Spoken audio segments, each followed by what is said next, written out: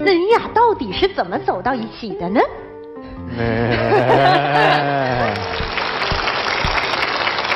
哎，看看这些幸福的画面啊，哈，都是当年呐。嫂子给咱们回忆一下当年好不好？就是呃，可能在座有很多就是我们八零后吧，同龄人。嗯。当年小赵他们聊小虎九九年那批太火了，就是我们那个年代就是女孩的一种可能是偶像，对特别崇拜心理。然后记得当时我是跟他一个队友的女朋友特别好，然后有一次他女朋友给他的男朋友打电话的时候，然后我也在旁边。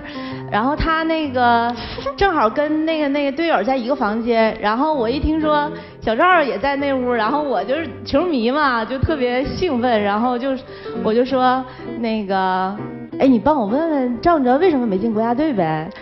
然后然后他那个队友在那边喊说，那个赵，嗯，有人问你为什么没进国家队，然后我就听他在电话里说，呃，水平不行呗。还挺幽默的啊，然后，但当时我就是在电话里听到那个声音的时候，就觉得，哎呦，太兴奋了！听到偶像的声音都觉得特别兴奋。